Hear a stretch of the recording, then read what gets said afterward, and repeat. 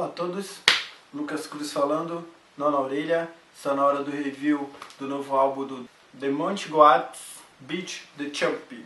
The Monte Goat é uma banda de rock americana formada na Califórnia pelo cantor, compositor, vocalista John Daniele, que está à frente da banda desde o seu início, ela que vem tendo uma mudança de formação e que é o único membro presente desde a sua formação, ele que vem trabalhando gradualmente com a série de colaboradores dentro desse projeto e agora está lançando o seu 15 álbum. Então a banda tem uma carreira bastante extensiva, uma série de grandes lançamentos. O seu último álbum lançado é um álbum bastante agradável, com bons sons, boas letras.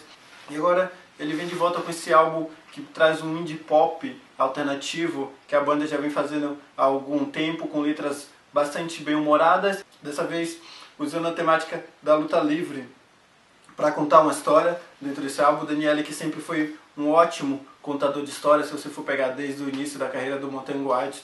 Esse é um álbum que, segundo o Daniele, é um álbum que inspirado nele mesmo, é, de quando ele, nas memórias dele de quando ele assistia a luta livre.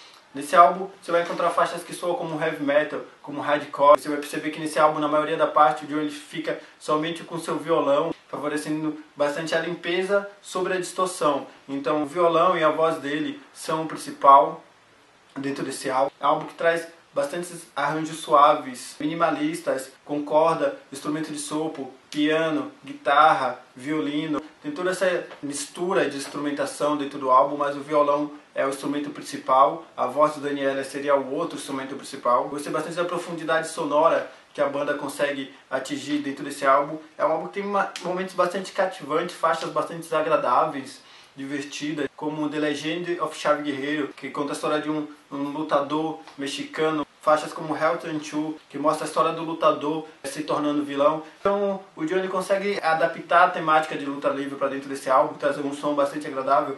E para você que não é fã de luta livre, para você que não gosta de luta livre, você vai ouvir o álbum da mesma forma, vai curtir o álbum, vai achar interessante a história que é contada nesse álbum, com belos momentos, boas letras. O John, que continua sendo um excelente contador de história. Esse álbum prova isso. Eu acho que é um dos melhores álbuns carreira da banda. Bastante bonito, lírico, com boas guitarras, boas letras. Então esse álbum ele cativa uh, de todas as formas, na letra, na melodia, é, no bom humor é, das faixas. Eu gostei bastante desse álbum, gostei bastante de todas as faixas, achei bastante interessante. Hell Helton 2 seria talvez a melhor faixa, The Legenda de Chave Guerreiro também é uma faixa muito interessante. Essa Bad to Dead Outside San Juan, que é uma faixa que tem umas guitarras bastante pesadas, cruas, distorcidas. Então o álbum como um todo é bastante agradável. A forma como ele adapta a luta livre para a música, para poder contar uma história também, foi bastante interessante.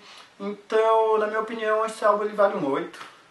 É, gostei do trabalho do John, gostei do trabalho da banda, gostei de tudo no geral. Então, nota 8, Lucas Cruz, The Mountain Whites,